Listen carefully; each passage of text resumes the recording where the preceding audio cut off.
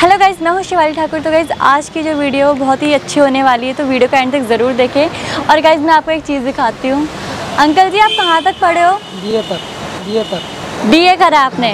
तो फिर आप देख सकते हो रिक, रिक्शा चलाते हैं पर इन्होंने बी ए कर रखा है। अंकल जी एक सवाल पूछना था आपसे। आप कहाँ तक पढ़े लिखे हैं? बारहवीं तक। बारहवीं तक।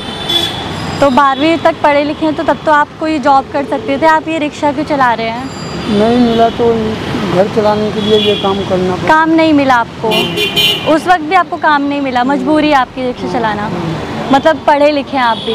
तो गैस देखा आपने ये भी बारहवीं पास हैं इन्होंने भी पढ़ाई करी है और ये भी रिक्शा चला रहे हैं। तो सीरियसली यार hats off to such guys जो मतलब ये हर काम करने के लिए करने के लिए तैयार हो जाते हैं। वो भी अपनी फैमिली के लिए अपने परिवार के लिए कर रहे हैं आप। तो देख सकते हैं आपकी परिवार के लिए क्या क्या करना पड़ता है। हेलो अंकल जी आ, मुझे ये पूछना था कि आप कितने पढ़े लिखे हैं? बी ए तक पढ़े हैं बी ए पढ़े हैं। बी ए करा आपने पर आप ये रिक्शा क्यों चला रहे हैं बी ए करके? चला रहे हैं कि को, को, कोई काम नहीं मिल रहा है इसीलिए हम चला रहे हैं रिक्शा। काम नहीं मिल रहा है? हाँ। बेरोज़गारी की वजह हाँ से। हाँ जी समझ सकते हैं। तो गाइज़ आप देख सकते हैं कि ये बीए पढ़े लिखे हैं। बीए करने के बाद भी मतलब रिक्शा चला रहे हैं। तो एक तरह से ये है कि कोई भी काम छोटा बड़ा नहीं होता है। तो हमें सबकी रिस्पेक्ट करनी चाहिए।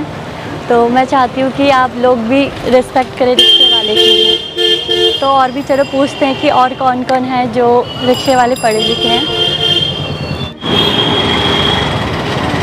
भैया कुछ पूछना था हाँ आपसे जी बताओ कितना पढ़ा लिखे हैं आप? M B B S M B B S M B B S करा आपने? हाँ सच में? हाँ मतलब आपने डॉक्टर की पढ़ाई करी हुई है और आप फिर रिक्शा चला रहे हैं ऐसा क्यों? पैसा नहीं था दिक्कत पैसे नहीं थे मजबूरी में। हाँ हाँ तो गाइज़ देखा आपने मतलब आप देख के वैसे मुझे लग भी रहा था थोड़ा जेंटलमैन लग रहे थे। हाँ तो ये काफ़ी पढ़े लिखे भी हैं और उसके बाद भी इन्हें मजबूरन रिक्शा चलाना पड़ रहा हाँ। है तो ये हालात है हमारे देश के आप देख सकते हैं। हाँ और वैसे यहाँ एक और बात मैं कहना चाहूँगी कि कोई भी रिक्शे वाला छोटा नहीं होता है। कोई बहुत से लोग सोचते हैं कि ये छोटा काम है। तो कोई भी काम छोटा बड़ा नहीं होता है। तो हमें रिस्पेक्ट करनी चाहिए रिक्शे वालों की भी। तो गाइस चलो देखते हैं और भी होंगे ऐसे लोग। तो हमें देखते हैं और कौन कौन मिलता है। शुक्रिया अंकल भैया जी।